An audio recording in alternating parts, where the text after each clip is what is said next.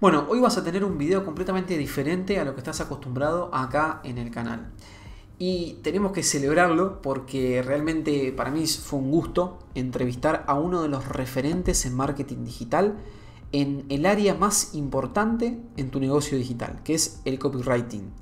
Para mí, la persona que vas a conocer, quizás ya la conozcas, es eh, hoy por hoy el más importante en el mercado hispano a nivel de escritura de textos persuasivos que venden y que eh, sirven para todo tipo de negocios, pero sobre todo para los negocios digitales.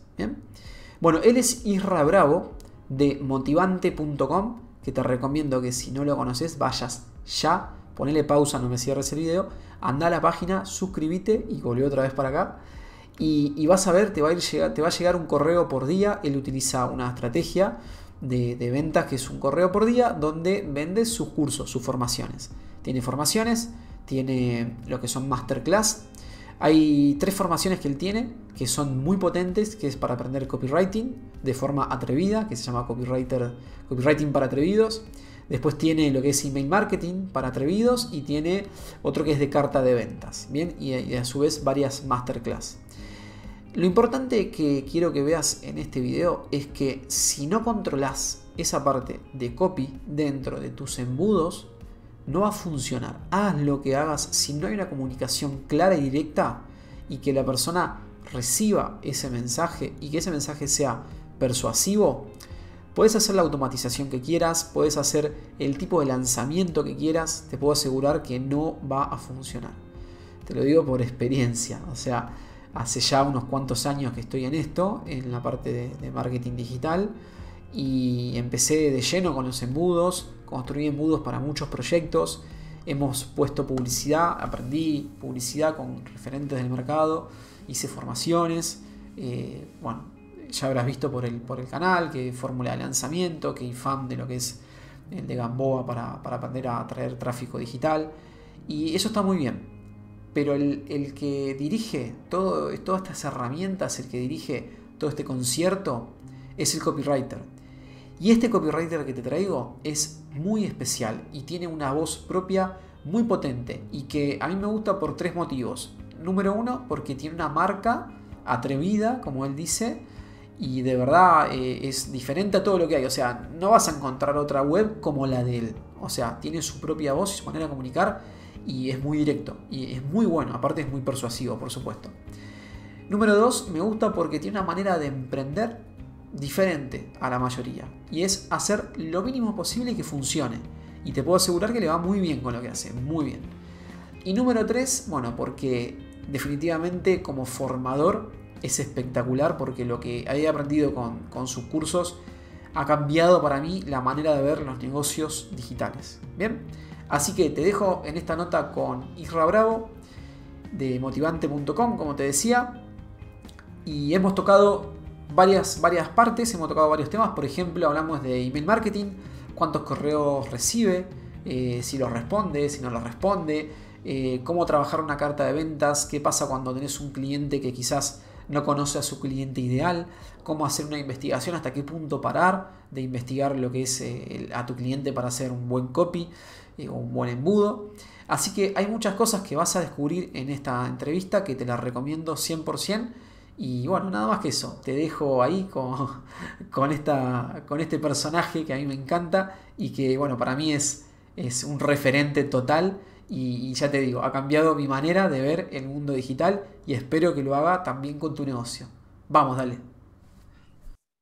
Una de las cosas que me di cuenta en el mundo este del, del marketing digital es, yo quería conocer ¿no? un poco eh, cuando empecé a hacer diseño web, embudos, automatizaciones, ese tipo de cosas, publicidad.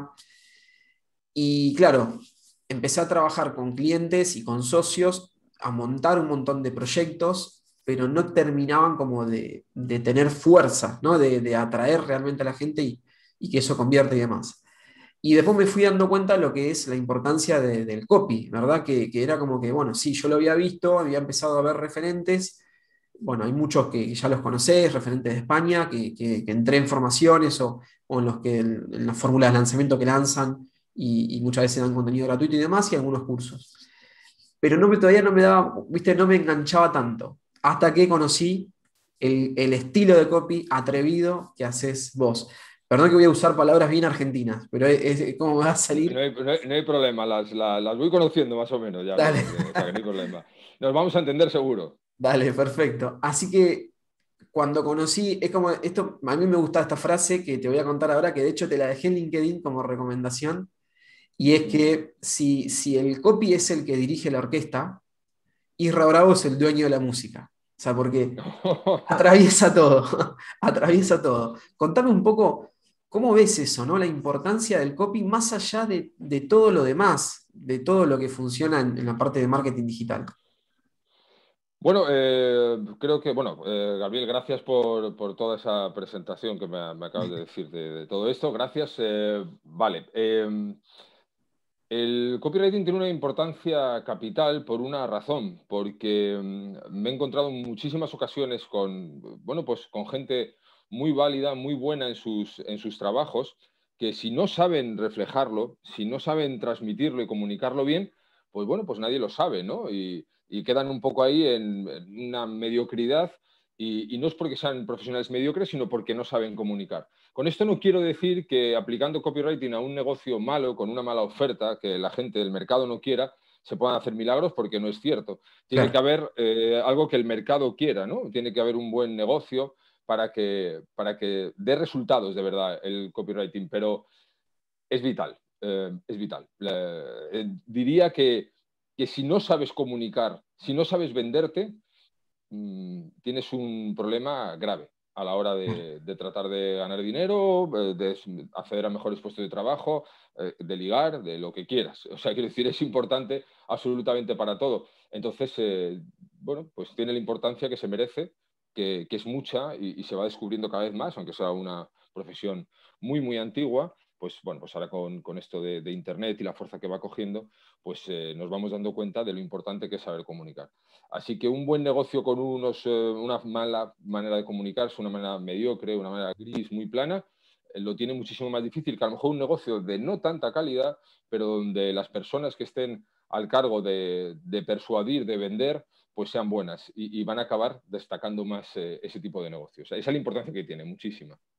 O sea, es que noté, ya te digo, yo es como que buscaba mucho la complejidad en el funnel y, entender, bueno, si lo mando del video 1 al 2 al 13, si se dispara un correo, se dispara otro hasta que te conocí. Y dije, no, claro, mm. es mucho más simple, es mucho más sencillo. Y, la fuerza está justamente en el mensaje. Yo te conocí por un, programa de, de, Oscar Feito. Y a partir de ahí te empecé a seguir, empecé a ver la web, bueno, empecé a ver los mails. El otro día estaba mirando, creo que ya van cerca de los dos años Así que cuando quiero aprender, te soy sincero, compré los cursos tuyos todos, que, son espectaculares, que es una, eh, no sé, es como, a ver, gráficamente es como patear el tablero de muchas de las cosas que venía aprendiendo, ¿no? De, verdad. Y, me he ido a los primeros emails, eh, a revisarlos de vuelta, a abrir algunos que no había leído y al blog tuyo. Y me fui al final del blog. Empecé de atrás para adelante. Y, es, es el, que no conozca tu, manera de escribir, tu manera de expresarte, se la recomiendo, pero totalmente, en, motivante.com. Y bueno, es un cambio total de paradigma a lo que venía haciendo. Así que ahora estoy reestructurando todo, porque claro, es más simple de lo que uno parece, de lo que parece, ¿no? Pero el mensaje tiene que ser coherente y fuerte. Sí, al, final, eh, como los eh, seres humanos tenemos tendencia a complicarnos la vida, porque somos así y lo hacemos en todos los ámbitos, pues en el ámbito de los negocios también lo hacemos, ¿no? Y para vender, eh, indudablemente hay que tener un, buen mensaje, ¿no? Saber cómo, transmitirlo, pero a más sencillo lo hagas, a más directo seas con, la persona, con el potencial cliente, mejor te va a ir. Entonces, muchas veces en Internet, bueno, pues se complican muchísimo las cosas porque usamos una tecnología que muchas veces está jugando en nuestra contra, ¿no? Por eso, eso que decías, por ejemplo, de abrir un email si no han abierto uno y mandarles otro, eso es complicarse muchísimo la vida y a la larga no, no funciona, porque bueno, las personas están a mil cosas, no están pendientes solo de abrir nuestro mail. Por tanto, lo mejor es tratar de mandar todos los días un, un email de ventas y hacerlo lo más sencillo posible. al final es lo más rentable. Lo que pasa es que es eso, tenemos tendencia a complicarnos, no va con nuestra naturaleza. Claro, exacto. Bueno, una de las cosas de, uno de los paradigmas que rompes con tu manera de, trabajar, que si bien es cierto que muchas veces lo has contado en, reuniones que has, tenido, que, lo has tomado ¿no? de otros referentes del copy, eh, que es el tema del email diario. Eh, sin embargo, no, o sea, no suele ser por ahí lo más conocido, al, menos en el mercado hispano, no suele ser de lo más conocido y hay mucho miedo al email diario, porque de hecho yo tengo varios clientes a los que le trabajo el funnel y ese tipo de cosas y, es como que todos, no, no, como un email diario, no, o sea, va a cansar, va a agotar, ¿viste? No, no va a tener eh, enganche, la gente se va a dar de baja y me es difícil a veces mostrarles un poco la, la ventaja. Así que bueno, empecé a aplicarlo con, mis propias marcas y a partir de ahí eh, empezar a evaluar. Una de las preguntas que te quiero contar, te quiero preguntar realmente es, eh, ¿cuántos emails recibís? O sea, quiero saber de curiosidad, ¿cuántos emails recibís en respuesta a los emails que vas enviando día a día? Y me imagino que eso ha ido, ha ido creciendo. Sí, ha ido creciendo. Eh, aproximadamente, por darte una media, los fines de semana baja, pero unos 200 diarios. ¡Wow! Impresionante. ¿Y contestás todos? Sí, contesto, todos. Es parte del trabajo, digamos que lo tengo estructurado de tal manera que, el soporte eh, es muy importante. Muchas veces se comentan ¿no? sobre temas de, gestión de tiempo, pero bueno, mm, para mí es la mejor inversión de tiempo que puedo hacer y, no lo pierdo en otros sitios y, lo gano ahí. Así que bueno, sí, son muchos, pero, pero lo llevo bastante bien. Y, nada, pues eso, más o menos, una media de, de, 200. Algunas veces algunos más, hay picos, otras veces menos. Depende, si el mail es más polémico, recibo más. Pero bueno, los insultos, a no ser que tengan gracia, no los suelo contestar, o sea que no hay problema. Claro, claro, imagino. Bien. no sé si notaste en, tu negocio o en negocios que, que, hagas email diario también para tus clientes eh, o, que conozcan en otros casos, si hay alguna relación normal o más o menos en promedio entre bajas, eh, altas y compras, por ejemplo, si notas. Sí, sí. a ver, una lista mm, sana y bien trabajada tiene que haber bastantes bajas. Eh, eso es, las bajas son buenas, se va limpiando la lista y la gente que no quiere estar tiene que, tiene que marcharse. Para eso está el botón de, darse de baja en, en, cada correo. Y normalmente los emails que más bajas tienen son los que más ventas traen, ¿no? Un poco los emails que polarizan, los emails que a lo mejor tocan algo que a mucha gente le molesta, pero que muchos otros se ven identificados con ello. Entonces, sí, sí, eh, es bastante. De hecho, no hay ninguna lista bien trabajada que no tenga, que no tenga bajas y, que, no tenga que, disfrutar de ellas, vamos, en el sentido de que son parte del, del trabajo. Son parte del trabajo. Exacto. Pregunta de curiosidad también. ¿Alguna vez te tentaste a, reciclar algún email que, que, ya hayas enviado y que haya funcionado muy bien, que por ahí lo veas que, bueno, que ha dado mucha, mucho resultado, y a reciclarlo, ¿no? cambiarlo un poco, hacer ese tipo de cosas?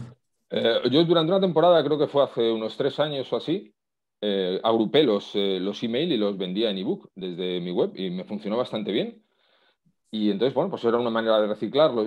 Eh, ahora mismo nunca he utilizado un email que haya mandado para hacer otro email igual, nunca he hecho eso, pero, pero sí que se puede reciclar tanto para un libro, para, para un podcast, quien tenga podcast, para, para, subirlo al blog. Quiero decir, se le puede dar mucho, mucho, mucha vida ¿no? a, a un email. En mi caso, te digo, de mandar un email y mandar otro igual como tal, no, pero de utilizarlo para, para otras cosas, como poner un libro en el blog y tal. Eso es una cosa que, hago habitualmente y que además eh, recomiendo hacer. Bien, bien, excelente. Yo sé que, bueno, ahí un poco la metodología que tenés es de enviar un email diario, contar alguna idea, alguna historia y eh, terminar con el enlace hacia alguno de tus productos. Em, ¿Notaste por ahí, no sé si en, por ahí en tu negocio o en otro tipo de negocio, ¿Qué pasaría si eh, fuera una página puente, por ejemplo? Hay algún contenido detrás, una página donde profundices, eh, profundices en ese tema con un video o algún otro contenido en texto, y al final el botón para ir a la carta de ventas, o sea, para no ser tan directo. A ver, esto me lo pregunto porque yo tengo en uno de mis proyectos, lo tengo así, y no sé qué tanto me puede funcionar. Hasta ahora las bajas funcionan. Lo otro no sé todavía, pero las bajas está dando, estamos viendo ahí, así que bueno, veo que están siguiendo algunos pasos ¿no? en esos videos, pero bueno, es una mezcla que hice entre, entre un, proyecto que había estudiado y, lo que estoy aprendiendo con email marketing. Pero bueno, no sé si no saltarme directamente ese puente, a eso voy. Eh, a mí me gusta personalmente, a no ser que la situación lo requiera, que ahora podemos ir a eso, eh, mandarlos directamente a la carta, a la página de ventas, donde vamos a vender algo. O sea, siempre eh, cada email tiene que tener un objetivo y el objetivo tiene que ser el 99,9% de las veces vender. Es lo mejor que puedes hacer cuando haces email marketing.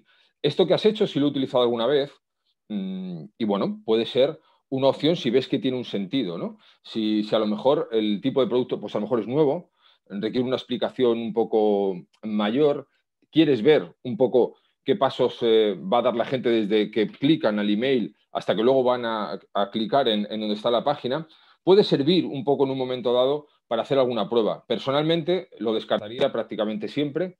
Haría una buena página de ventas, un buen email y el enlace a la página de ventas. Eh, todos los pasos que nos ahorremos a la hora y todo lo directo que podamos ser a la hora de vender, a la hora de tratar de conseguir algo de, alguien, algún tipo de acción, mejor. O sea que en ese sentido se puede hacer, puede tener un sentido en algún caso, pero la mayoría de las veces eso no se utiliza del todo bien y lo que hacemos es, eh, bueno, pues es perdernos como mucho, eh, mucha gente por el camino. Esto es como cuando muchas veces te dicen, no, voy a, a mandar una serie de 10 email, pero solo voy a vender en los cinco últimos bueno, pues eh, es un desperdicio. Y los cinco primeros, ¿por qué no pueden vender? ¿no? Eh, tienes que tener en cuenta que los primeros suelen ser, además, eh, los que más se abren.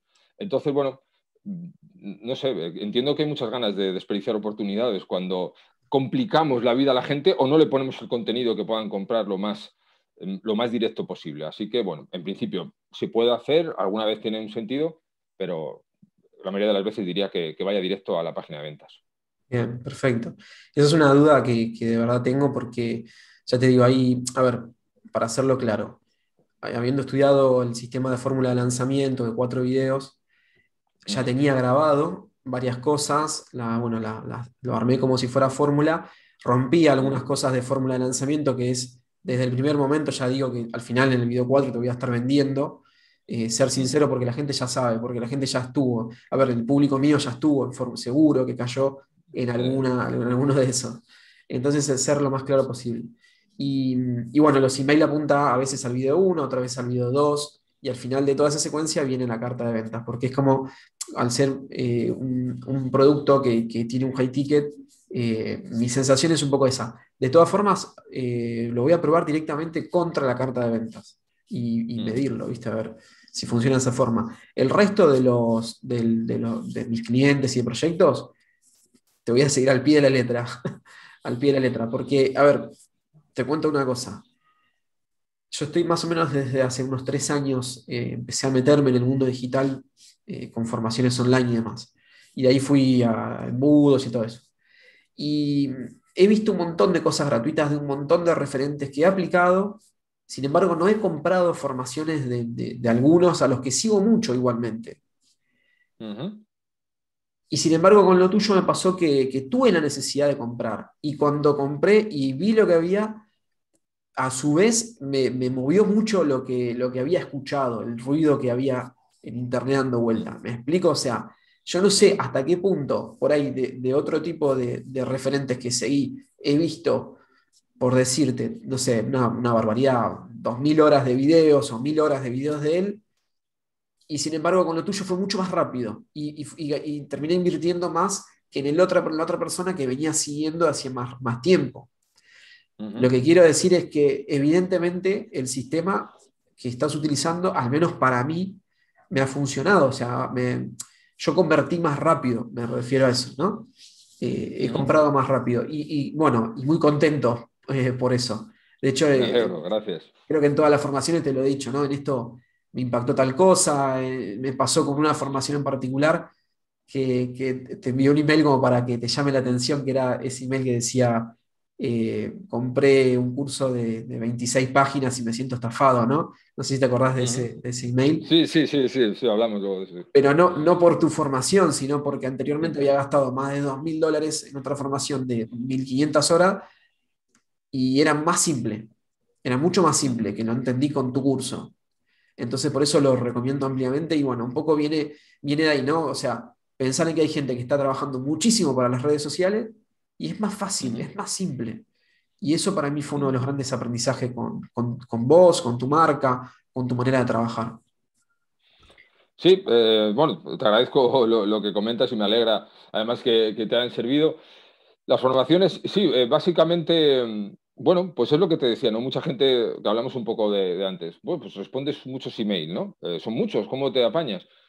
bueno, no estoy en redes, por ejemplo, ¿no? Eh, no tengo que hacer tres eh, artículos para Instagram, ni tengo que grabarme un vídeo para TikTok, ni tengo que discutir con nadie sobre cómo hay que poner el botón de compra en Twitter, y me ahorro un montón de horas. O sea, quiero decir que, al final eh, lo que yo trato de hacer es atraer a la gente a mi negocio, no al negocio de, Twitter ni al negocio de Instagram. Los trato de atraer al mío y venderles en el mío, ¿no? Que, que es mi negocio. A mí que me siguieran 15.000 personas en Twitter no me dice nada. Yo los necesito en mi lista. Es donde quiero que estén. Eh, porque, porque es donde voy a hacer rentable mi negocio. Entonces, eh, no, eh, es una cuestión un poco de, cómo organizarse y sobre todo eso, hacerlo lo más sencillo posible. No solo a la hora de vender, sino también a la hora de, aplicar los conocimientos que, he ido adquiriendo con los años y transmitirlos de la manera también que, pueda ser más sencilla, ¿no? Para, para, para, que la gente los pueda, los pueda aplicar. Nadie nos enseña a vender, Mm, esto es una cosa que, nos pasa a todos. Entonces, cuando alguien monta un negocio en Internet, no tiene experiencia en ventas, pues es normal un poco que todo ese ruido que pues dices, pues debe ser así, me tengo que complicar muchísimo la vida, debo estar en mil sitios haciendo mil cosas y mandar eh, muchísimas cosas antes de contenido gratuito, lo que comentabas antes.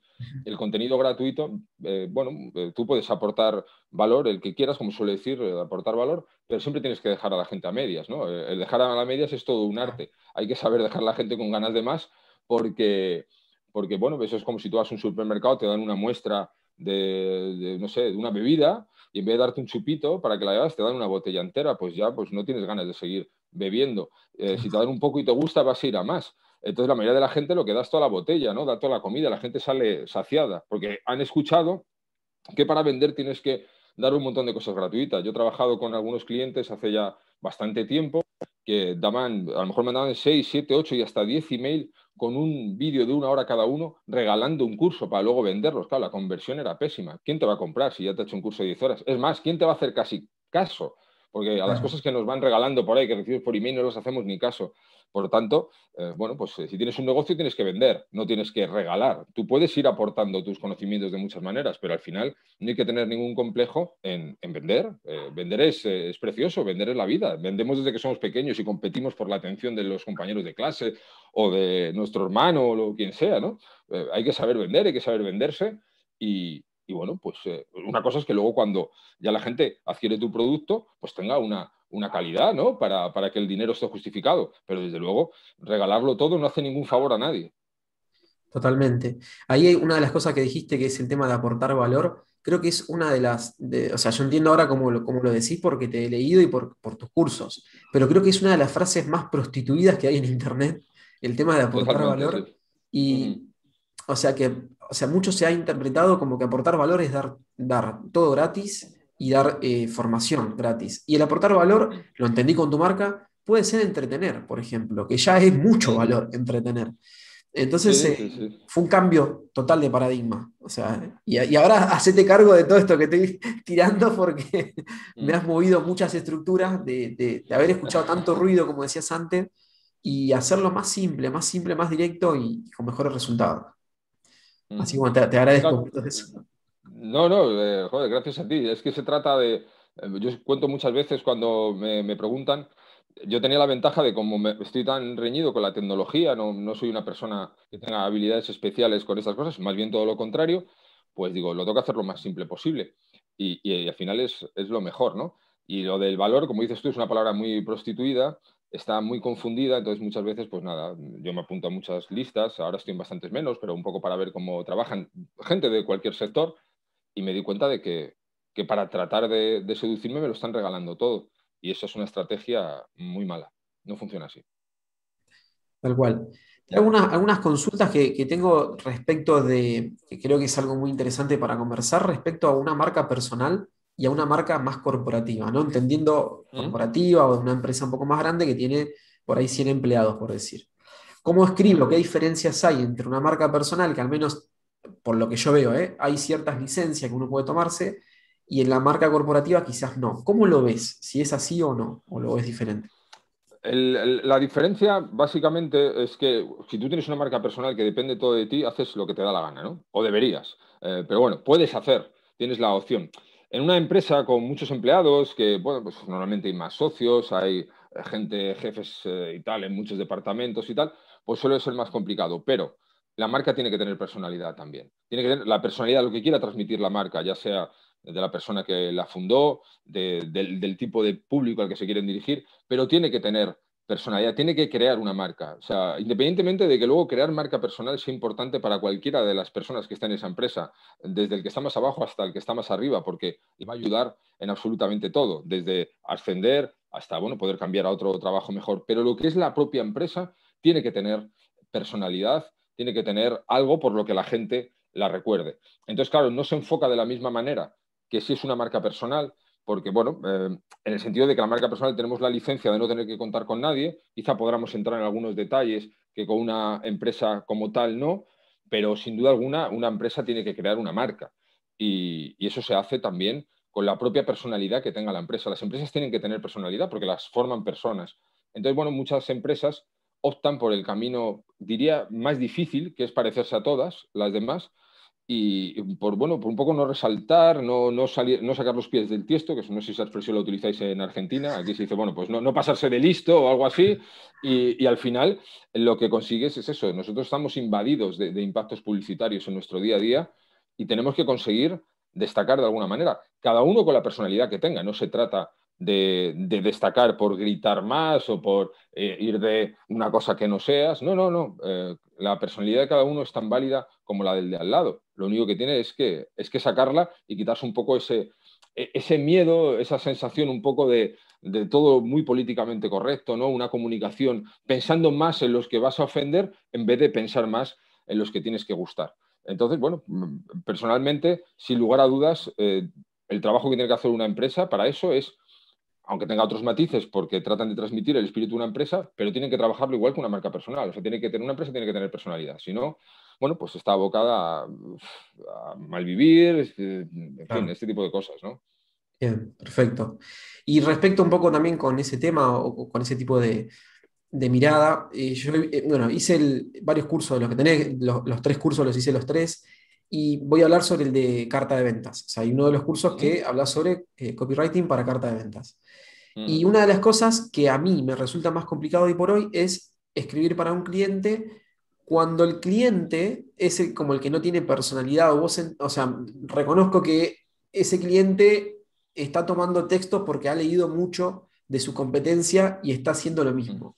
Entonces, ¿cómo hacer para ayudarlo a cambiar su mensaje? ¿no? Es la parte que más me cuesta, que a veces empiezo a trabajar, pero después me, me tira algunos textos para atrás ¿Y cómo lo, cómo lo ves o cómo, cómo es mejor enfocar? Los, los, clientes tienen el, el, problema, tenemos cuando somos clientes muchas veces eh, de, mm, bueno, a ver, quiero decir, tú cuando, cuando trabajas con, con un cliente, lo mejor que, que, uno puede hacer es escucharlo, ¿no? Que te cuente su vida, así, ¿no? A todo el mundo le gusta hablar sobre su vida, así que en eso no vamos a tener problemas prácticamente nunca. O sea, va a ser muy raro que nos crucemos con alguien que no quiera contarnos nada. O sea, y menos que hable de su empresa, de cómo la fundó, de las dificultades que tuvo al principio, si recibió algún tipo de ayuda, eh, bueno, cuándo empezó a ver color al negocio, ese tipo de cosas, cualquiera que tenga una empresa va a estar dispuesto a contártelas sin ningún tipo de problema, y más si es para sacarle rendimiento con el trabajo. Una vez que tienes esa información, ya la puedes empezar a utilizar. Luego el otro trabajo, por eso dice que los clientes muchas veces somos difíciles, es convencer a la persona de que eso hay que hacerlo, ¿no? Hay una cosa que funciona muy bien, que es eh, cobrar alto, un precio muy alto. Porque si trabajas muy barato, eh, la gente no te toma del todo en serio. Entonces, cuando alguien paga una buena cantidad de dinero a un profesional, se fía más de él, entiende que, que tiene que ponerse en sus manos y que su criterio está ahí por algo. Entonces, yo recomendaría a cualquier persona que nos esté escuchando que si quiere ganarse la confianza de los clientes, no cobre barato. Eso es lo primero. Y luego, bueno, pues saber explicarle que va a tener que hacer alguna serie de cosas que, que tienen que diferenciarlo de, la competencia. Es que no hay otra manera. O sea, no, puedes hacer nada porque es inevitable, ¿no? Es, una obligación el, hecho de, decir quién soy, qué clase de persona soy y cómo tengo que, que, presentarme ante el mundo. Si tú te vas a presentar ante el mundo exactamente igual que lo están haciendo todos los demás, pues vas a tener el mismo resultado que tiene la mayoría. Y la mayoría no, no tienen negocios que funcionen muy bien, porque, porque es eso, eh, eh, la competencia es grande, ¿no? Y la competencia es al mismo tiempo maravillosa, pero diferenciarse, eh, a la hora de comunicarlo no digo que sea fácil, requiere de un ejercicio con uno mismo, pero realmente es tan fácil como que bueno, cada uno tiene su vida, ¿no? Y cada uno tiene sus circunstancias. Coge tu vida y coge tus circunstancias y conviértelo en argumentos de venta. Claro, tal cual. O sea, es que, bueno, una, una de las dudas que tengo respecto de, ese tipo de cosas cuando entro con un cliente nuevo es hasta qué punto dedicarle tiempo a aprender el mercado de ese, de ese cliente, sobre todo cuando nunca trabajé en ese mercado, y entonces empezar a investigar y, o sea, hasta cuál es el punto final, ¿no? De, de investigación, porque llega un punto que me ha pasado también de saturarme, de, mirar mm. videos sobre su mercado, de leer y demás. O sea, ¿detectás algún punto final como para decir, bueno, hasta acá investigué y, es suficiente? Sí, em, una vez que has visto un poco la competencia del, cliente y, el, propio, el propio negocio del cliente, conviene tomar una serie de notas, eh, los puntos comunes que te vas a encontrar, las cosas que puedas haber visto diferentes, y no conviene tampoco em, volverse demasiado loco, ¿sabes? No conviene tampoco decir no tengo nunca suficiente, no tengo suficiente. O sea, hay que investigar mucho, sí, no digo que no, pero hay que centrar bien el, foco, ¿no? Eh, eso es un trabajo que se hace previamente con el cliente. Bueno, pues, eh, ¿qué vendes? Eh, quiénes son, todo el mundo sabe quién es su competencia. Cuando alguna vez te cruzas con alguien de no tengo competencia, sal corriendo, porque seguramente el negocio no, no sea viable no tengo nada de competencia, pues es muy, muy raro, ¿no? Eh, eh, saldría corriendo.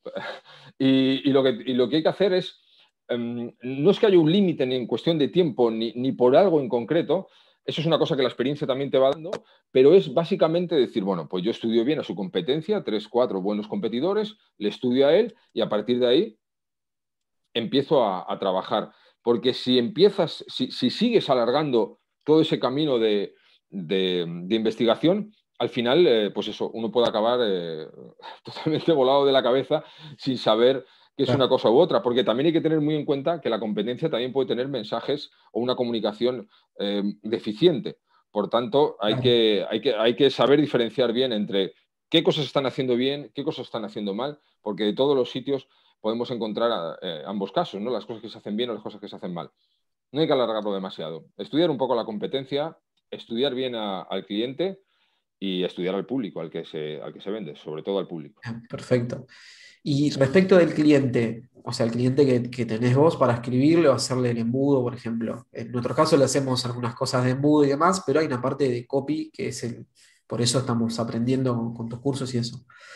Y una de las cosas es que me, he dado cuenta, a partir de, aprender copy con, con, tu estilo, de que de que mi cliente generalmente no conoce a su cliente, cree conocerlo, pero no lo tiene bien definido él. Entonces, ¿hasta qué punto yo me puedo meter a definirle su cliente? ¿Me explico? Y sobre todo pasa en temas muy abiertos como ser desarrollo personal, ¿no? Un curso de, desarrollo personal que sirve para todo el mundo, te suelen decir. No, pero pará, a ver, hay que definir el cliente. Mm. ¿Y hasta qué punto lo acompañás a definir ese cliente?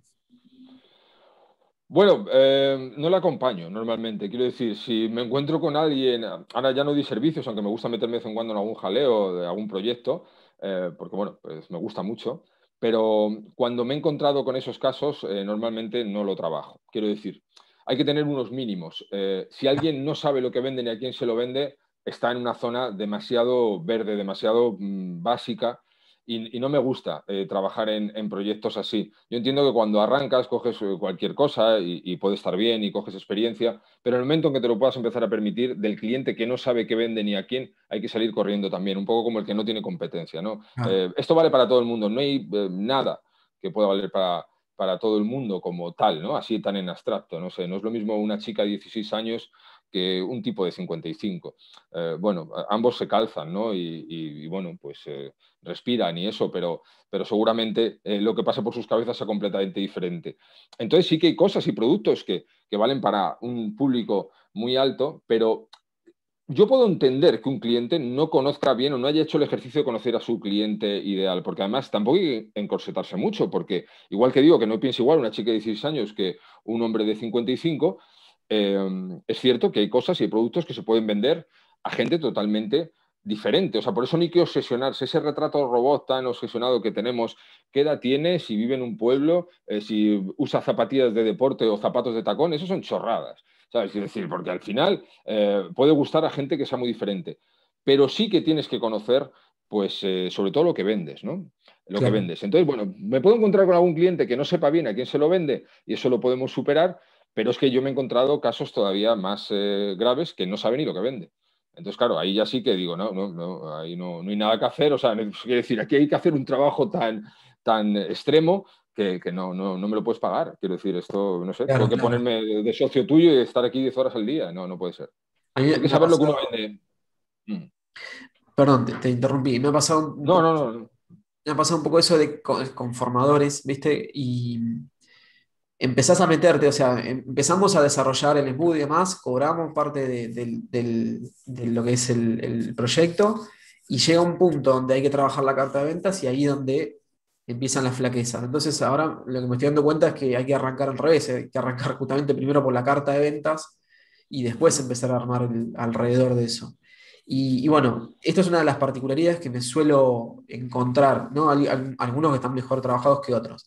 Y una de las cosas con los formadores, que esta es otra pregunta que quiero hacerte, es si, si te has metido a ver la formación, no sé si tuviste formadores a los que hayas hecho copy, pero si te has metido a ver qué, qué formación dan, cómo lo dan para, digamos, sacar textos de ahí. No sé si me explico. Sí, sí. Vale, oye, una cosa, eh, Gabriel, ¿te molesta el humo? ¿Me puedo fumar un cigarro? no hay problema, ¿no? No, Aquí, no, no, te llega, ¿no? No te llega. Es que desde que empezó esto de la pandemia, eh, después de mucho tiempo sin fumar, me fumo de vez en cuando algún cigarro y como estoy aquí muy relajado y muy a gusto, si no te importa, mientras charlamos me, me fumo un cigarro, pero vamos, no, no, te molesta, ¿no? No, no te molesta el humo desde aquí. Y si me, vale. Si me llegara igual. Eh, no, si, estuviéramos en la misma habitación no, no, iba a fumar, a no ser que tú fumaras, ya te digo que no, iba a fumar. No, no, no, soy tan molesto. Que, ah. eh, sí, por supuesto, yo cada vez que voy a vender un, curso, eh, o cada vez que he tener que vender un curso que no sea mío, sí, he entrado dentro del curso. Es imprescindible, me tiene que dar acceso al curso, verlo y, bueno, ponerme en la piel un poco de, de, ese cliente que lo va a comprar. Incluso en algunas ocasiones, cuando han sido servicios, también he pedido que la manera de, en la mayor manera posible me, me hicieran vivir la experiencia del servicio, porque eso es importante. O sea, quiero decir, puedes aprender mucho más a la hora de vender con un cliente si te dice, bueno, vas a vender una formación X, eh, bueno, pues eh, cultura financiera, pues eh, déjame entrar al curso. Y, evidentemente es una cosa que, nadie te va a negar, quiero decir, es, es, imprescindible, diría. para mí es imprescindible ver el curso por dentro. Perfecto. Bueno, me quedo más tranquilo porque me, está pasando eso, ¿no? Que, me estoy metiendo tanto en, los contenidos de, los clientes que, aprendo cosas que no me interesan realmente, ¿no? Ah. Pero bueno, me sirve como a ver si me interesa en función de que, mi cliente tenga mejores resultados, ¿entiendes? Pero no son cosas que voy a aplicar para mí. Desde, tengo clientes desde el lado del trading, como tengo clientes del lado de la enfermería, y, y no son temas míos, ¿no? ¿Se entiende? Pero sí me doy cuenta de que mientras más veo sus contenidos, más saco para poder escribir. Entonces, un poco eso, ¿no? Como te decía antes, ¿cuánto tiempo entre la investigación externa, entre meterte a ver sus formaciones, o sea, hasta, hasta dónde está el límite? Y por eso es necesario cobrar un precio alto, más alto de lo que uno piensa, porque eso es lo que te da permiso a meterte, ¿no? Claro, eh, ¿cuántas veces vemos aquí, por ejemplo, que en España se cobra muchas veces 300 euros por una página de ventas? Eso no tiene sentido. Eh, no tiene sentido porque hay muchísimo más trabajo y hay que cobrarlo bastante más alto. Y si el miedo que tiene el copywriter es a cobrar más alto, porque mm, sobre todo si tiene un poquito de experiencia, ¿no? si acaba de llegar al mercado, tiene que cobrar más alto también, pero puedo entender que tenga muchas dudas. Pero si tiene un poco de experiencia y, no es capaz de, vender ni reflejar eh, precios de páginas de venta a un precio superior, es que no sabe hacer su trabajo. Quiero decir, eso es así. O sea, si un propio copywriter no sabe venderle a un cliente la idea de que tiene que cobrarle más de 300 euros o 500 euros por el trabajo de una página de ventas, pues yo si fuera cliente eh, no le contrataría tampoco. Claro, es muy interesante lo que está diciendo, porque no es, no es que no sepa hacerlo por el lado de la competencia técnica, que puede saber escribir o demás, sino porque no ha vivido ese camino con otros clientes, evidentemente, porque si lo mide puede darse cuenta que por ahí le lleva meses. En algunos clientes, en algunos casos, te puede llevar dos, tres meses con uno solo. Obviamente que uno tiene varios en paralelo, pero igualmente el tiempo que le dedica es bastante. Y, además hay que ver el resultado, hay que hacerle ver eso, el resultado. Si, tú coges una carta, una página de ventas y vende un curso a 500 y tiene una conversión de un 1%, por ejemplo, y le haces un buen trabajo y tiene un 2%, bueno, pues estamos hablando de que va a ganar miles de euros al mes con el trabajo de un buen claro. Entonces no puede valer 300. Eh, una buena página de ventas mm, puede cambiar la vida de un negocio. Esto es, así. Entonces, bueno, pues eh, eh, eso vale un dinero. y si lo quieres invertir bien y si no, pues, pues nada. Pero vamos, hay mucha gente que sí lo quiere, lo quiere invertir. porque muchas veces eso pasa mucho cuando montamos negocios. A lo mejor la mayoría de las personas cuando arrancamos un negocio solemos, era mi caso y el de tantos, pues andar muy escasos de dinero y tenemos la tendencia a pensar que todo el mundo está igual.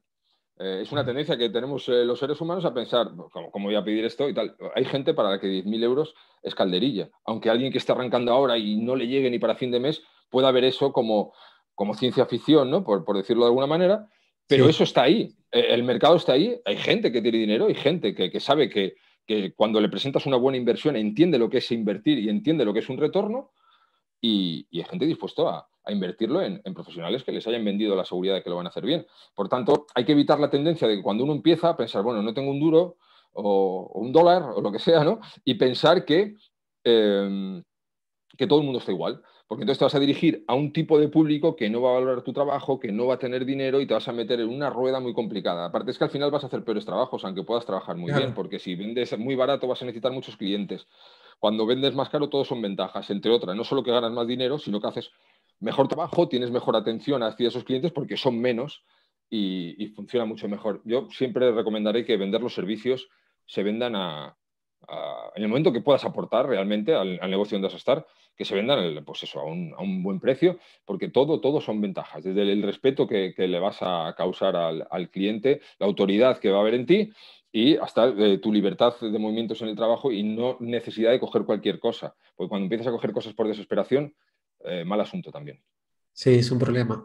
Bueno, a mí, a mí con mi equipo nos pasó eso al principio con los precios que cobrábamos, que eran mucho más bajos que ahora, y, que no, no teníamos claro a veces en qué nos metíamos, en cantidad de tiempos y que el cliente por ahí no colabora, esa es otra, ¿no? Mientras más caro cobras, más colaboran, eso hemos notado.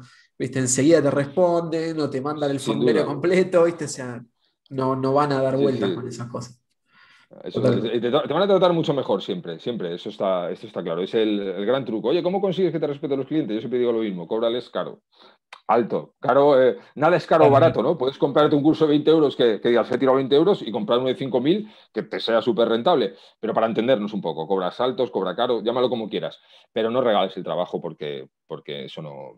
Al final, eh, el mercado te va a arrasar, además. Perfecto. Te hago la última técnica y después nos vamos a meter en algo más allá de, emprendimiento y ese tipo de cosas. La última técnica propia de, copy y de embudos. No sé si eh, has trabajado, me imagino que con algún cliente, pero si tenés una carta de ventas que tiene tres opciones de, compra, ¿no? sobre todo si es, si es servicio, y tiene tres planes, ¿cómo lo ves? ¿O, es generar una confusión al cliente y preferís tener un único plan para todo? ¿O, o bueno, o se puede usar? Eh, a mí me gusta tener un único plan, en principio. Si la situación requiere tener tres, hay que ser lo suficientemente hábil como para no hacerlo como todo el mundo, ¿no? De esto que pones una cosa muy barata, otra cosa muy cara y la del centro como para destacar. Vale, eh, pero eh, que la gente está ya muy, muy maleada, ¿no? Quiero decir, mm, vas a tener que justificar por qué haces cada una de esas cosas. ¿no? no va a servir solo porque le pongas una cosa muy barata al lado. Ojo, funciona y puede funcionar. De hecho, hay bastantes recursos muy interesantes que puedes utilizar para vender algo de, menor precio, ¿no? Pero eh, cuando lo vayas a plantear, tiene que quedar muy claro por qué son las cosas así. A mí, sí, siempre que la situación lo permita, prefiero tener una, única opción, pero si no es así, pues eh, por lo menos plantearlo de una manera que, bueno, que, sea más, persuasiva que poner simplemente eh, las tres casillas ahí y destacar el que quieres que cojan. puede funcionar muy bien que destacar el más caro por ejemplo. Claro, eh, claro, Puede que aumenten las ventas no solo del caro, sino del medio que quieres vender más. ¿no? Hay muchas cosas que se pueden hacer y sobre todo que la gente no tenga la sensación de que ha visto las cosas 200 veces, porque eso pues, al final no, no, acaba funcionando. ¿no? Pasamos un poco como si fueras un mensaje que, no nos dice nada, una página en blanco. Bien, perfecto. Bueno, me imaginaba igual por, o sea, por, esa, ese estilo de simpleza que te caracteriza, de hacer las cosas simples y efectivas, de que ibas a ir por una, solución única. Eh, pero bueno, a veces se presentan estos casos, ¿no? Entonces, eh, es cierto, salir un poco de esa estructura de, pensar que porque está en el medio, de, o de porque dice el más comprado, esa, esas cosas que vemos siempre, ¿no? En, o la, opción que te interesa. Eh, cuando tú pones eso, eh, estás dándote una patada ti. ¿Cómo que la opción que te interesa? Eh, no sabes en qué caso estoy. Yo solo he visto en muchas páginas de venta. El más comprado, el que te interesa. Entonces, ¿qué me estás diciendo? ¿Que el caro no sirve? ¿No tiene sentido que, valga más? ¿O me estás diciendo que el que es más económico también voy a tirar el dinero? Quiero decir, no digo que no se puedan utilizar alguna de dos o tres opciones, si se puede evitar mejor, pero hay que justificarlo con un poquito más de, pensando un poquito más en el que va a comprar. Y si realmente es el, que te interesa, pues no sé, pues no, me conoces de nada, no, puedes saber. a lo mejor me interesa el que vale eh, mucho más, ¿no? En fin, es, es, el mensaje, cómo se manda, pero si se puede simplificar, mucho mejor. Bien, perfecto. Bueno, ¿cómo ves a futuro? Eh, a ver, imaginemos este mundo, que, que, no va a suceder porque la mayoría de gente va por, por caminos por ahí erróneos, como, como nos pasa al principio, ¿no? Pero Imagínate que de golpe eh, todo el mundo en el copywriting empezara a comprar solamente cursos tuyos, solamente. Sabemos que no va a pasar, que hay gente que busca otro, como todos, ¿no? Hay muchos formadores y demás. Pero vamos a ponerle que empieza a pasar eso y empiezan a llevar a sus propios negocios esto de generar una marca atrevida o ponerle su voz propia. ¿Crees que eso podría transformarse en un paradigma, digamos, se llegaría a estandarizar o crees que eso nunca se va a estandarizar? de tener la propia voz, ¿no? No, eh, o sea, me, explico, es una muy buena pregunta además y, está muy bien. Pero mm, quiero decir, eh, yo lo que, lo que trato de, enseñar son ángulos de, ventas, ¿no? Es, la, psicología de la persuasión escrita. Pero eh, las personalidades que tengan cada uno son eso, son de cada uno y, eso es una fuente inagotable, como tantas personas hay en el mundo. Otra cosa es que hay gente que sin pensar lo más mínimo imite modelos eh, que puedan tener éxito y lo hagan sin utilizar ninguna personalidad propia, sin pensar por qué lo hacen ni, ni, a dónde van. ¿no? Eso siempre va a pasar, eso, siempre, eso ha pasado toda la vida y pasará siempre. Y al final, bueno, pues el que no use su propia cabeza y se limite solo a, imitar, pues no podrá llegar eh, demasiado lejos. Pero el tener una personalidad propia y una voz propia, eso siempre va a funcionar. Eso siempre va a funcionar. Al principio es normal tener influencias, quiero decir, no hay nada de malo en que alguien pueda estar formándose con una persona y tenga ciertas influencias, sobre todo cosas que puedan funcionar. Pero, pero esas influencias, eso que vamos aprendiendo de cada uno, para tratar de, de traérnoslo a nuestro terreno y hacérnoslo un poco propio. Entonces, eso, eso que dices, ya te digo, es una muy buena pregunta. Va a pasar siempre las dos cosas. Que el que mm, tenga su propia personalidad y sepa comunicar va a vender y la persona que simplemente clone lo que vea por ahí sin pensar por qué lo hace, pues, pues nada, pues estará ahí clonando y, ya está. Pero no, no, no, podrá tener mucho recorrido. Pero vamos, es inevitable que pasen ambas cosas.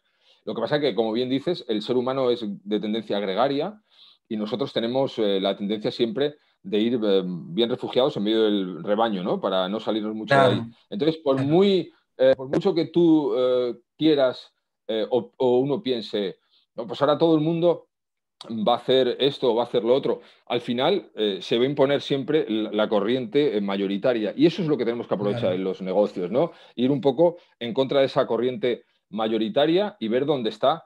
Eh, hay un, no, me acuerdo quién se lo leí, se lo leí una frase hace bastantes años que hablaba de, bueno, mira qué está haciendo la mayoría, estaban hablando de negocios y hace lo contrario.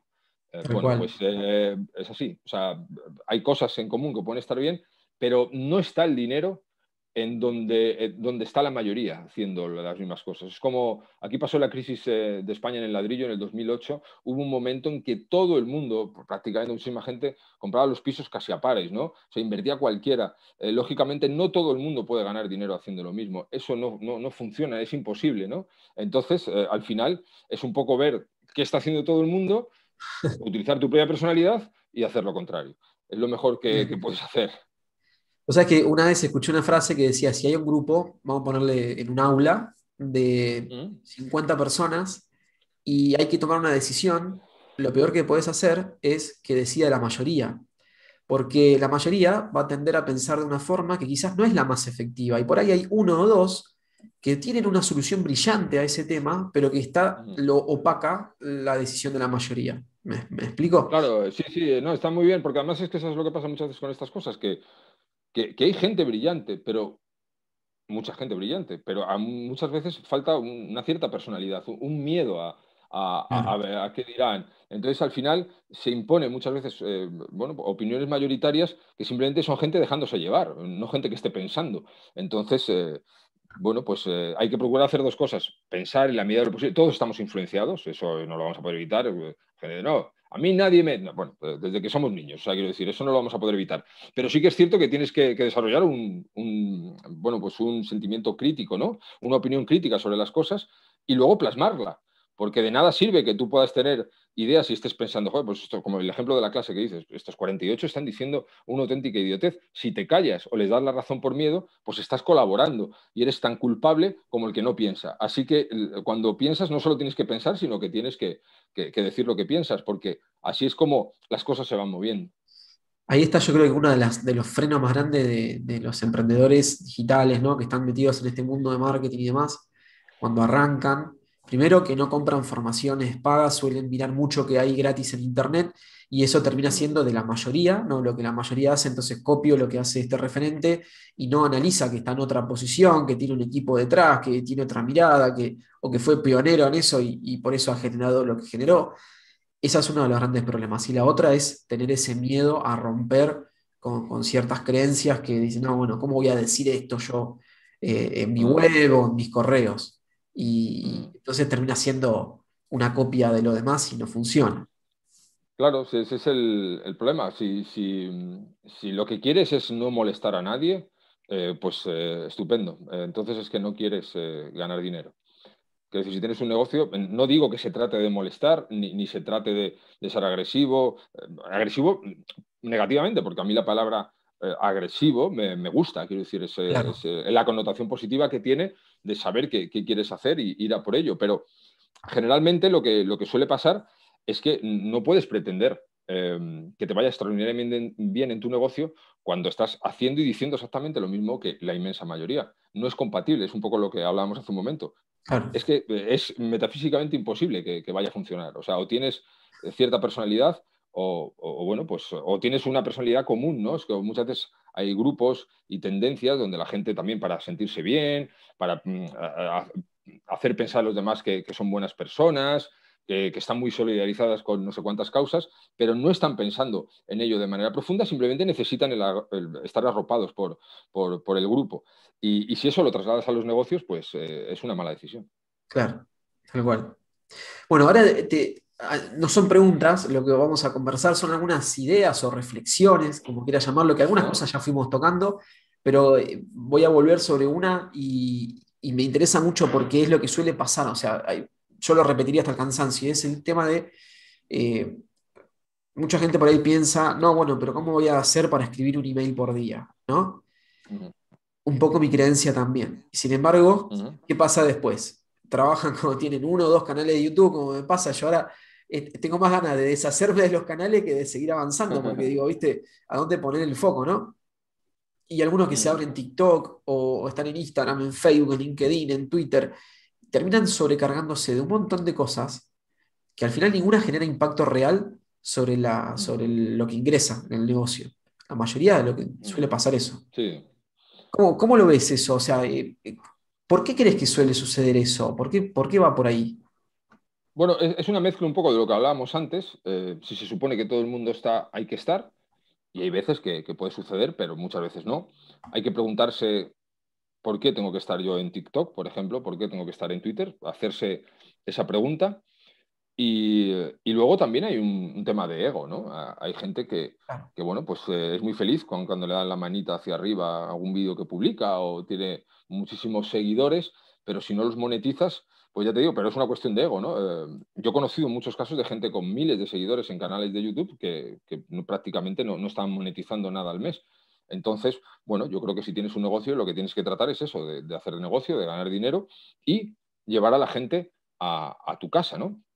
A tu marca. No digo que las redes sociales no se pueden utilizar, eh, la puedes utilizar bien, supongo que, que, supongo no, eh, hay gente que lo utiliza bien, pero sobre todo tiene que ser para alimentar tu propio negocio la mayoría de la gente pasa más tiempo fuera de su negocio y, cuántas veces hemos visto en una web que entras y, lo primero que te ves arriba son los botones de las redes sociales, ¿no? Eso es como si vas a una tienda y lo primero que te dice allí, pues el que esté allí atendiendo, dice, no, no, no, eh, date una vuelta Y, luego cuando... Es que tengo ahí un, puesto de fotografías para que veas los zapatos. No, pero si ya estoy en tu tienda, ¿para, qué, ¿para qué quieres que me vaya de, tu tienda? Ofréceme algo aquí para que pueda quedarme, ¿no? Esa situación que sería totalmente absurda en el mundo real se da en Internet constantemente. entonces, eh, no sé por qué cuando alguien aterriza en tu web, con lo difícil que es que alguien aterrice en tu web, lo primero que le invitas es a que se vaya pues eh, no sé, realmente no, tiene sentido.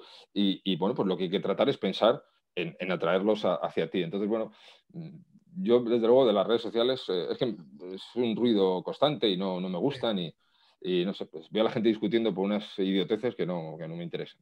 Eso, mira, de, en una de tus masterclass, la de telaraña, ahí es, casi profundizás y das estrategias y para mí fue un cambio total. Ya te digo, es una, una masterclass que son pocas hojas, sin embargo, llevar eso a la práctica y cambiar esa mentalidad que, con la que veníamos y, implementar estas estrategias más coherentes, te diría, eh, es un cambio rotundo. O sea, no sé cómo decírtelo de otra forma. O sea, a mí me dio mucho más resultado que, pasarme prácticamente medio año y medio año del año pasado viendo videos y videos y videos de, un curso particular, ¿no? Eh, que es, más fácil, es, es por acá. Sí, el, tema además, eh, esa masterclass de la que, bueno, me siento especialmente orgulloso porque, porque he conseguido que, mucha gente la lea, la entienda y no la haga. O sea, que no lo implemente. O sea, y, digo, vale, o sea, quiero decir, porque eh, e, para algunas personas es muy inconcebible algunas de las cosas que se dicen ahí y, bueno, pues las personas que lo han ido implementando han ido viendo resultados. Y vas viendo resultados porque al final, eh, insisto en esto, ¿no? Eh, tienes que tratar de alimentar tu negocio. Y, ese es el, objetivo que tiene eh, el, cuando uno monta un negocio. Si lo tienes como hobby o, bueno, pues, no sé, pues es un chaval, una chica de, bueno, pues 20 años y sube ahí sus fotos en Instagram para, bueno, pues contar que ha comido una pizza con su novio o lo que sea, está bien, pero, eh, bueno, si, tienes un negocio, claro, muchas veces es que imitamos comportamientos de gente que mueve muchísimo. Pues a lo mejor coges una celebridad de estas que tenga un millón de seguidores y le pagan una barbaridad por comentar una marca. Entonces, eh, pues muy bien, pero eh, es que es un negocio, eso es un complemento, es un negocio, es otro. Y, en ellos pueden tener un impacto muy grande pero es como lo de los lanzamientos, ¿eh? que hablábamos hace un rato, los lanzamientos de, pues no digo que no funcionen, si tú puedes hacer una inversión pues, de 100, 200 mil euros en publicidad, medio millón de euros, como he visto casos, y más eh, elevado, y arrastras a, miles de personas, a cientos de miles de personas a, tu lista, pues con una conversión muy baja puedes conseguir mucho. Pero yo he visto a gente haciendo lanzamientos a los Joe Walker eh, que no ha invertido en publicidad y, y, lo hace con una lista de 200 personas tienes que saber con qué armas luchas. Eh, no vas a poder ganar dinero en la vida haciendo eso, ¿no? Entonces, bueno, pues eh, eso pasa mucho. La gente, creo que en general, está en las redes sociales mucho por un tema de ego y sin pensar por qué están, ¿no? Y, hay que pensar por qué estamos, qué, relación tiene. Yo llegué a la conclusión de que no quería estar porque a mí me, me provocan rechazo. Pero eso no significa que otra persona no le provoque rechazo, las pueda disfrutar, pero si está pensando en qué va a hacer con, todo eso que está haciendo ahí. Pero la mayoría de las veces, ya te digo, se está por estar y, por estar no puedes estar. Tal cual. Otra de las cosas para reflexionar y que, te la quería contar, un poco lo descubrí a partir de empezar a seguirte ¿no? y, de, leer y comprar los cursos, es el tema de vender desde el primer día. Hay una frase en el marketing que es, no podés vender desde el primer día, es como conocer a una chica y pedirle matrimonio, ¿no? El primer día. Y yo me pongo a pensar y digo, a ver, yo tengo dos hijos, uno de seis, la nena de tres. Eh, me conozco hace ya 10 años con mi mujer y no estamos casados, ¿no? Es, o sea, es lo mismo, digamos, pero llevado. es un poco la, eh, metáfora, eh, ¿no? Es, una de las metáforas más equivocadas que puedes decir. Bueno, no digo que el primer día la vayas a pedir matrimonio, pero a lo mejor os podéis acostar. quiero decir, hay, muchas cosas que, que, se pueden hacer el primer día. no tiene claro, lógicamente pero, pero no tiene nada que ver tratar de vender el primer día. Tú cuando tienes una cita te vendes desde el primer día. Exacto. Tienes una cita con una chica o va una chica y va a conocer a alguien que, le gusta porque es no sé quién y va a tratar de venderse, va a tratar de sacar su mejor cara, va a tratar de causar una buena impresión, se está vendiendo. Eh, las personas nos estamos vendiendo constantemente y si nos interesa a alguien, nos vendemos con más interés. Si lo hacemos mal, podemos eh, causar eh, un cierto rechazo, pero si lo hacemos bien, pues, pues eso, nos estamos vendiendo. Entonces, bueno, decir que vender desde el primer día es como pedir matrimonio, pues es como olvidar todas las fases anteriores que tiene cuando conoces a alguien. Cuando conoces a alguien y te gusta, quieres gustarle y cuando tú quieres gustar a alguien, estás vendiendo. Así que, bueno, pues es una, es una estrategia absurda, es una frase absurda decir que no puedes vender del primer día comparándolo con pedir matrimonio. Porque ya te digo, incluso tú vas a hacer una, vas a conocer, ya, no hablamos solo de, tratar de ligar, eh, vas a conocer mañana, no sé, pues a una directora de recursos humanos con la que te apetece tomar un café porque te interesa trabajar en esa empresa, por lo que sea, bueno, pues eh, vas a tratar de causar una buena impresión, vas a tratar de parecer una persona atractiva laboralmente. Mm, ¿qué vas a hacer entonces el primer día? No entiendo exactamente que la, comparación entre que sí, no. Eh, a mí siempre me pareció eso, no sé, yo he trabajado mucho en cosas de venta y, no he conocido nunca, pues hablo del mundo real, ¿no? El mundo fuera de Internet, a mí nunca me han, me han dicho, no, no vendas, eh, no, eh, quiero decir, Es, una, es, una, comparación que no tiene sentido, no, tiene, no tiene sentido y no, y no, se puede traer al mundo del, del marketing porque mientras tú estás diciendo no voy a vender para que no se asuste, va a haber eh, otros eh, mucho más listos que lo están haciendo. Así que bueno, pues eh, puedes pensar en el matrimonio o puedes pensar en tener un, rollo, ¿no? O sea que, bueno, luego el matrimonio puede llegar, un cliente te compra una vez, está contento y luego se convierte como un, haciendo la metáfora en un matrimonio porque te compra más cosas y le encanta lo que haces, pero de entrada tienes que gustarle desde el primer día. Tal cual. Mira, y aparte, con, esa formación que te digo, esa masterclass tuya, entendí otra de las cosas de, que tiene que ver con, algo que es mucho más secuencial que, digamos, eh, que complejo, ¿no? Imagínate que, que, tenés un montón de embudos de venta por acá, por allá, y que si entra por este lado, sale por acá. A ver, es más lineal, es, me conoce, se suscribe y, va avanzando, ¿no? O sea, y cómo, cómo, cómo colocar esos pasos simples de forma que, vas vendiendo al siguiente. Eso para mí es, es, lo más, digamos, lo, que me ha simplificado, ¿no? O sea, yo creo que Isra Bravo es, un, es, una persona capaz de simplificar los negocios, o sea, todo. Y a partir de ahí es que es la gran diferencia que haces con, todo y con la marca atrevida y, que me ha, me ha hecho cambiar mucho la manera de ver el negocio. Y aparte es, muy simple, todo el mundo que hace negocios para generar dinero, después expandirse, y obviamente que uno lo hace porque quiere dar servicio, le gusta lo que hace y demás, pero si nadie te compra, no hay forma en que vos te puedas, por ejemplo, capacitar, ¿no? No podés formarte, uno puede dedicarle media hora o una hora o cinco horas a capacitarte si no estás vendiendo, porque no vas a tener ese eh, espacio de tiempo. Es, que ver la, venta, cuando tú, ah, volviendo a la pregunta, es cuando una persona, cuando tú eh, eh, vas y dices, no voy a vender desde el primer día, ya estás asumiendo que la venta es algo feo. Y yo no voy a comprar nunca ese discurso, ni, ni, voy a dar la razón absolutamente a nadie que diga algo así. La venta es una cosa fabulosa, la venta es la vida, ¿sabes? Es vida, es sexo, la venta es todo, ¿no? Todo lo que nos rodea. Y, y entonces no, no pienso comprar ese discurso porque no es cierto. Entonces, el, tema es que mm, cuando tú dices no voy a vender, desde el primer día estás transmitiendo un mensaje de negatividad sobre lo que haces. Eso eh, para empezar. Y, a la hora de, bueno, esto que, estabas comentando, de, eh, que estabas eh, diciendo, perdona, Gabriel, ¿qué era lo que, lo que habías comentado? De... Sí, de la, en este caso de, ser secuencial o de, ir vendiendo de paso. eso es, eso si, si tú lo, perdóname, es que como me he vuelto al anterior, cuando tú simplificas, eh, lo que estás haciendo es también poniéndoselo más fácil a, la otra persona, ¿no? Y, le estás dando la, oportunidad de que si quiere solucionar algo, eh, lo haga.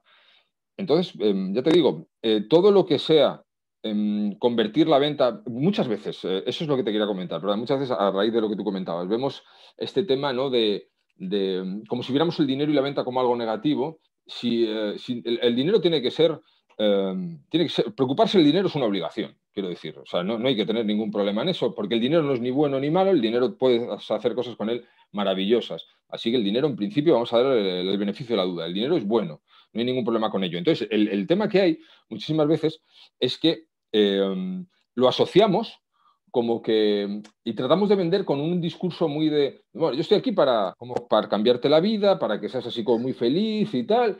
Eh, bueno, eh, no sé, quiero decir, eh, no creo que tengas la capacidad de preocuparte de miles de personas que no conoces y eso no significa que tú no quieras tener un impacto positivo en la sociedad, en, la, en el minúsculo, en la gota en el océano, en lo que tú puedas aportar. Pero no podemos tampoco vender la idea constante de que no, no, no, yo es prácticamente como, eh, no es una cuestión de dinero, es que yo quiero ayudar mucho y tal. Mm, no, no es, no es muy realista, tampoco hace falta, hay que tocarlo con más naturalidad. Entonces yo lo que veo mucho también es eso, es como si tú vas a vender algo y de entrada lo que estás haciendo es transmitir eh, la sensación de que la venta es algo feo o algo sucio, como ves muchísimas veces en gente, es que me molesta que me estén vendiendo, pero vamos a ver, eh, alma de cántaro, quiero decir, si nos están vendiendo desde que nacemos y, nos están vendiendo constantemente todo el día, o sea, estamos todo el día vendiendo y comprando cosas, algunas veces hay una, eh, un intercambio económico, pero otras veces es una cuestión de tiempo, de cariño, de amor, sexo, lo que sea, es, es una constante en nuestra vida. Entonces, eh, coger complejos ante la idea de la venta o de, conseguir tener beneficios en un negocio, lo primero que le genera a uno mismo cuando asume ese discurso es ir, pues eso, casi pidiendo perdón por, hacer lo que hace. Y bueno, sí, sí, hombre, quiero decir, la venta es una cosa y la estafa es otra, ¿no? Hay muchas veces, bueno, si tú vendes cosas y luego no las entregas, o son todo lo contrario de lo que has dicho, o es algo malo, defectuoso, lo que sea, bueno, pues tú no estás vendiendo, tú eres un estafador, es otra cosa. Pero si tú tienes unos conocimientos X de lo que sea, que puedes ayudar a unas personas en concreto a solucionar algo, no solo tienes que tratar de vendérselos, que tienes que estar orgulloso de hacerlo. Quiero decir, pues, pues claro. Bueno. O sea, es que hay un, como para, para ir cerrando, hay, una, hay una, idea en el mundo del emprendimiento y sobre todo también volcado a lo digital, y es que eh, uno tiene que, apasionarse por lo que hace, que ahí yo voy a, voy a decir algo que, que yo veo respecto a eso, ¿no? Pero que hay que hacerlo con pasión, sí o sí. Entonces, como lo haces con pasión, podés o no cobrarlo o cobrarlo barato, porque igualmente te gusta lo que haces, entonces, ¿qué sentido tiene cobrarlo demasiado caro si a vos te gusta? Hay como esa creencia. Yo creo que el tema de lo que, a uno le gusta, sin tocar tanto la pasión, llevándolo por ahí a esa parte tan romántica, ¿no? Lo que a uno le gusta hacerlo es muy pragmático. ¿Por qué? Porque eso te genera energía todos los días. O sea, nadie va a querer aprender de algo que no le gusta. ¿Viste esa frase que nos dicen cuando sos chico? Eh, ¿Qué te gustaría hacer cuando seas grande? Esa que escuchábamos siempre. Bueno, a mí me gusta dar la vuelta y decir, ¿qué te gustaría aprender cuando seas grande? Porque cuando uno empieza a alinear lo que le gustaría aprender, es por ahí. Pero se ha confundido el, hecho de que a uno le guste con que, que lo puede dar gratis. ¿Me explico? Y eso es un gran error. Y eso es parte del ruido de las redes sociales. Eso, eso sí, sí, totalmente. Eh, eh, bueno, aparte es que no, hay nada peor. Bueno, aparte tenemos el concepto también, ¿no? Del, no sé cómo lo llamaréis en Argentina, gorrón. Aquí es alguien que quiere todo gratis, ¿no? Y que va cogiendo de todo y no quiere pagar. No sé cómo lo llaméis allí, aquí se, se dice así. Lo único que tú vas a hacer, vas a generar cuando no paras de dar tu conocimiento de manera gratuita son dos cosas. La primera es que no lo van a valorar, porque no valoramos en general las personas, las cosas que, que, nos van dando por ahí desconocidos. Y, y luego, segundo, que vas a alimentar un, tipo de seguidores que son eso, son, son gente que solo quieren cosas gratis, que, no quieren invertir. Mira, yo estuve mucho tiempo vendiendo recetas de cocina, fíjate. Eh, y lo pongo como ejemplo porque mucha gente dirá, ¿quién va a comprar recetas de cocina si posiblemente YouTube eh, sea, debe ser una de las temáticas que más haya? Bueno, pues se vendían un montón. Porque hay gente que si se lo sabes hacer ver bien, está dispuesta a invertir para tenerlo todo ordenado para tener una secuencia de cómo hacerlo, poder dirigirse a un sitio y tal, porque no quiere estar dando vueltas para hacer el mejor, eh, no sé, eh, gazpacho, espaguetis a la carbonara, lo que cada uno quiera, y compra recetas de cocina. O sea, se puede vender cualquier cosa. Y una persona que tiene un conocimiento tiene derecho, y me atrevo a decir que a no ser que viva de otra cosa, tiene casi el deber, porque tú tienes que generar dinero. Eh, tienes, en este caso tuyo, pues igual que yo tengo una nena, tienes eh, dos a tu cargo. Eh, quiero decir, eh, tú tienes que, generar dinero, tú, tienes una obligación, ¿no? Tienes que ocuparte de, la gente que, tienes que ocupar. Entonces, em, bueno, pues si tú tienes mucho dinero, tienes otro trabajo, eres funcionario, cualquier otra cosa, y por las tardes estás en las redes enseñando a bailar, porque es tu hobby, pues oye, cojonudo, quiero decir, nada en contra.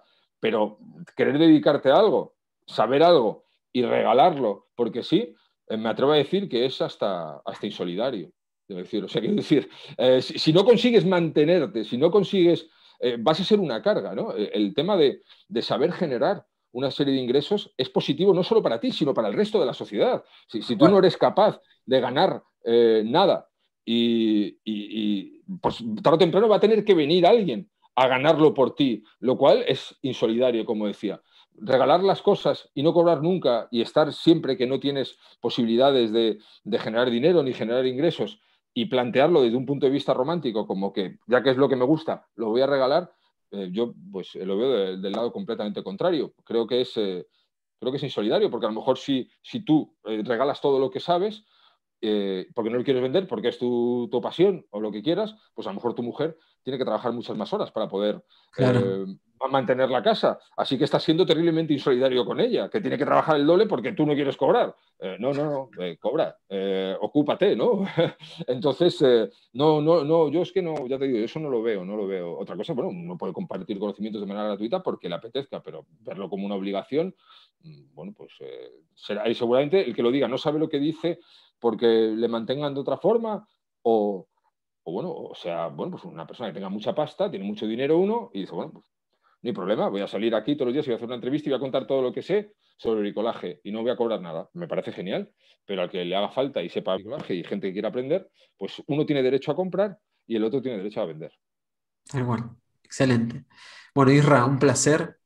Eh, por todos lados, primero por conocerte, por, porque me hayas respondido los emails desde el primer día, incluso cuando no era cliente todavía, eh, por el soporte, eh, por la entrevista de hoy, o sea, por todo, por todo el apoyo que, estás dando y por la forma en que lo haces.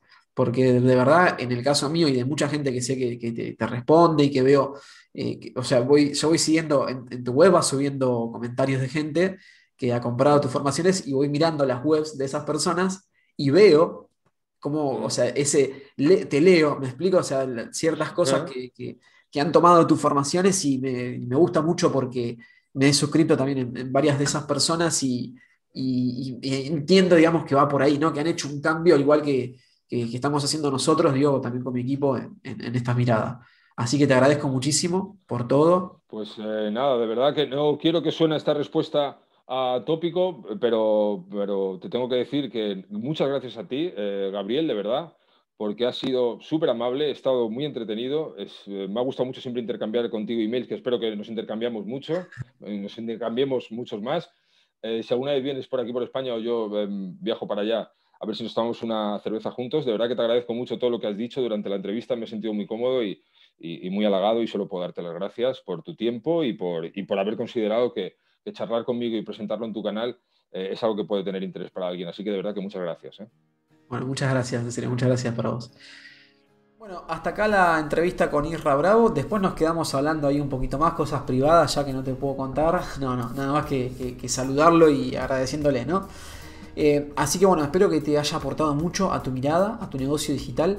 Acordate de ir a su página motivante.com, te lo dejo igualmente acá abajo para que vayas directamente y te suscribas realmente porque te va a, te va a aportar muchísimo una mirada del copy realmente eh, muy potente, diferente a lo que, lo que, suele haber en la red y a ese ruido que hay en, las redes sociales que te dicen tenés que hacer esto, esto, otro, las fórmulas de copy.